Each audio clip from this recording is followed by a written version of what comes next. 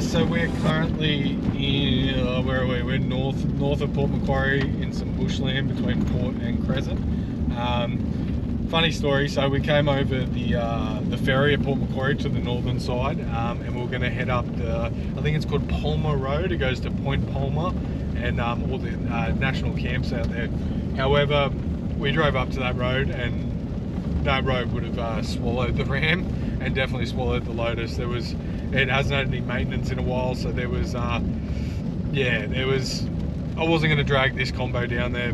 It was it was pretty gnarly. We should have uh, I should have taken the camera with me and filmed it, but we didn't. Um, and now we're on Mar Maria River Road, I think it is called, um, and we're heading up towards Crescent Head. It's about 34 k's along this uh, dirt rural road, which is semi-corrugated, semi-potholed and yeah, and then we're at uh, Crescent Head in a couple of different campsites there, which we'll show you. We're at the uh, Palm, uh, Point Plomer. Point Plomer Road, uh, Point Plomer Camp, and what's the other one we're in? Race course. Race course, and we're there for the next week, I think it is. Yep. Yeah. But yeah, even when we drove in to take Point Plomer Road, we found that there was nowhere to turn around, so we had to basically reverse all the way up the road uh, in the rain yeah, so, so I think we reversed about two, three hundred meters. Ended up say getting jack of it and um, using someone's driveway to turn around. So um, sorry if that was your house, but um, yeah, I wasn't reversing about ten kilometers. anyway, I'll show you guys what this road looks like. It was pretty rough on the way in. It's still a bit rough, but it's definitely not what we were going to take anyway.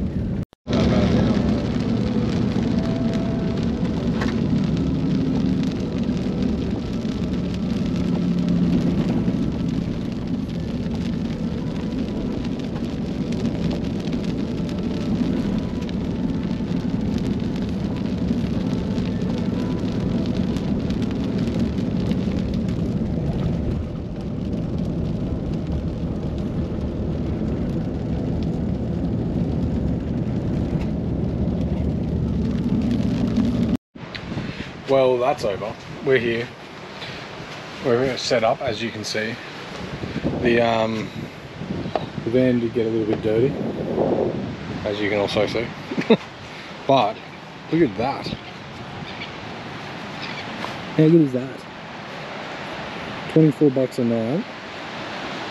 Waterfront views and beachfront views. So good. Anyway, we're here for a couple of days, so we'll um, we'll explore the area and we'll show you once we're here. And then uh, once we pack up from here we're just moving down to that headland right there. And we'll do it all over again with another little beach another campsite. And yeah this is our life now. Anyway enjoy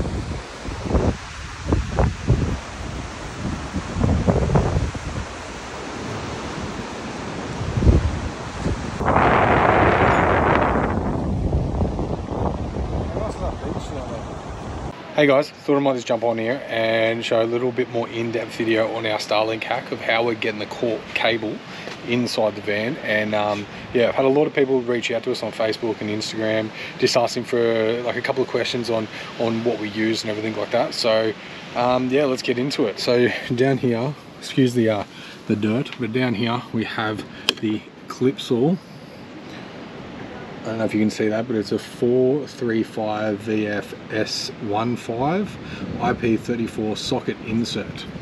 Um, I use the inlet side, so um, it has like the prongs, and then when you get it, I'll put up a photo, but when you get it, it's screwed in. So I unscrewed it, then I cut the hole bigger because the um, I think it's a 30 or a 32 mil uh, size boat bung, just didn't fit. So I cut the hole slightly a bit bigger, just nipped the, the um, tip off on that bung where the screw would usually be. Then I put the bung inside, screwed it in just to hold it with this one screw here and then Sikaflex around the sides um, from the other side of course as well to seal it all up and make it nice and neat um, and yeah, and then of course we cut a hole in the side of the van, which I can't really show you because that's already been done. That's all nicely sealed on there. Um, and then I'll go to the inside. So on the inside here, where it comes through there, that is just a, I think they're like a cable pass through or something like that. Um, yeah, so we've got that round hole there, and then this part here clips back in. We just take it off because the, the Starlink um, end that goes into the back of the modem there won't fit through that tiny little hole. Um, and yeah,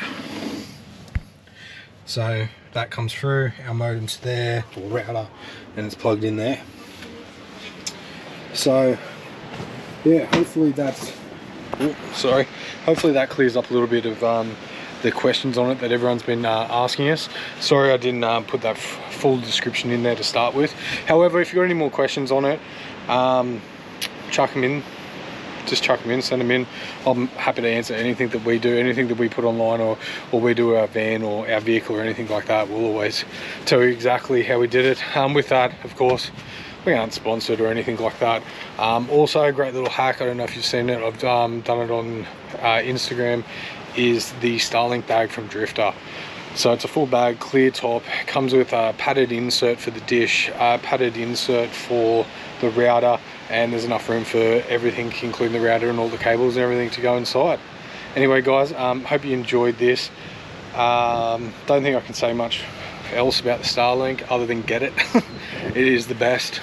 Even at home before we were traveling, like when we we're doing the little trips and that, we'd use the Starlink. It was better than our home NBN, so that was half the reason why we got it. Um, and then now we're traveling everywhere we go, even where it's shitty weather, trees, whatever it is, it's better than it's better than any of those other devices that are out there that um, let's see that boost the signal from a phone boost a phone signal and everything like that yeah Starlink is way better than them so it is a little bit more costly. So if you can afford it though definitely well worth it. Anyway guys hope you enjoyed this. If you've got any other questions just uh, send them on in. See you later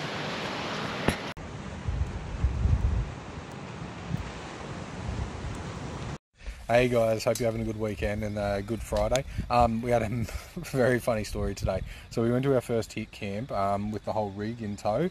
Um, Alana's just there next to us, we're in front of the fire. Um, and lady was worried that we're going to rip up her grass. She was worried that we took up too much room for two people because of the size of our caravan and our car. Even though she'd accepted our booking, so Yeah. she knew what size we were. Yeah, so like we booked, we told her we had a 23 foot van, a Ram 3500, blah, blah, blah. Anyway, so in the end, after we dropped the van and everything, she goes, Nope, you need to leave. So we left, we respected those wishes, even though it was ridiculous. Um, but yeah, we ended, anyway, we ended up here at um, Coffs, Coffs Harbour 4x4 and camping. It's so nice. So nice. I'll swing it around. There's look at that. It is huge. There's a, there's a lot of people here, but it is still huge. and they have geese and a peacock Yeah. and chickens. What was that? So they have geese and a peacock and chickens. Yeah. So there's tons of stuff here for everyone.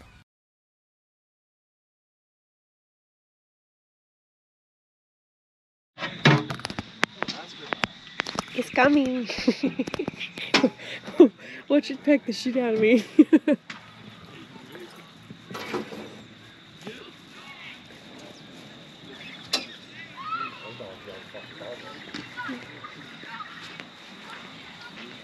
oh, it's eating whatever that is. Mushroom.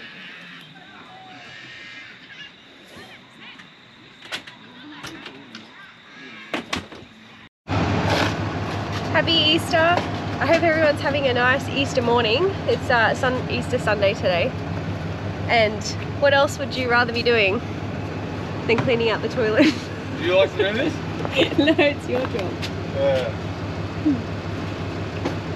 So some day. people eat Easter eggs for Easter Sunday and some people clean out the toilet. We'll do it one day. I'm gonna shut the door because it stinks. so now he's back from emptying out the toilet. Today we're going to drive around and have a look at a few beaches along the coast that we haven't seen. Tyson's seen some of them, but I haven't seen them. So I'm just gonna check out the towns. I'd assume everything's gonna be closed, so we'll just um, pull up and have some lunch or yeah, just drive around and check a few things out. So take you along with us. And find fuel. uh, and find fuel. Hopefully that's less than $2.11. We should have filled up before the long weekend, but we didn't need fuel then. So Yes. But if um if you're traveling, there's a little app. Which one's this one called? Fuel Fuel app. So pretty much you I can think it's um fuel map. oh fuel map. Yeah. Yeah. So you can go on. And I don't know if you can see the map there. We'll If you see. can't see it, I'll pop an insert in. But you can um, search your area and it comes up with every fuel station with an accurate price. So Yeah, Hopefully it's usually pretty accurate. Like there will be if you if you click on the price, it'll actually have the date that that price is uploaded. But I think it uh, times out after a while anyway. But it's a it's good at least you get an indication of the pricing. mm, But yeah, so we'll have to find some fuel today, and yeah, just go exploring, spend the day together. and then tomorrow we're off to Station Creek. Yeah. Yes. Can't wait. Yeah. It's so funny too because the last place we were at, Crescent Head, we could hear the waves crashing every night and you don't realize how used to that sound you like how used to it you get. And then now we're at this farm stay or like a, a hip camp and it's absolutely silent. And it's just it's so much harder to fall asleep without white noise. but yeah. Anyway, we'll um take you along today.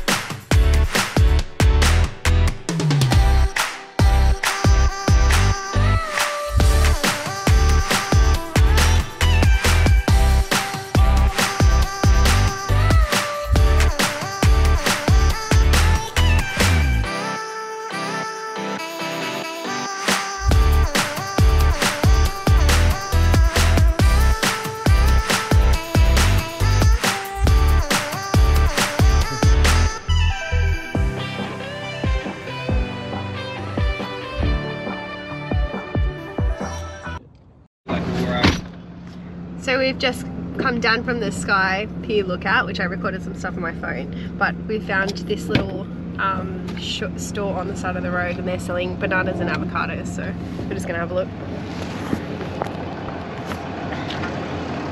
Look at the view. I just feel like the camera doesn't do it justice. Tama something. What are you doing? Tamarillo. Have you ever heard of a tamarillo? It's a fruit. Yes. Have you? Do you want them? They're three dollars. I've never had them before. I was hoping they'd have. No, there's no avos left. Everyone must have bought them. Yeah, they look. They would have been there. Oh yeah. You want some them and some them? and them? Oh, we missed out on the avocados. Oh, look, can you put your money in here? What do you want, baby? No, I don't want anything. You sure? I wanted avocados. Yeah. We'll go down the driveway and see if there's any of those. I don't think so. So today is a good day. We um well we left Coffs uh, camping in 4x4. That was an awesome place to stay. Absolutely loved it there. Sharon was she was a lovely hostess. Um, yeah, can't can't rate that place any more higher.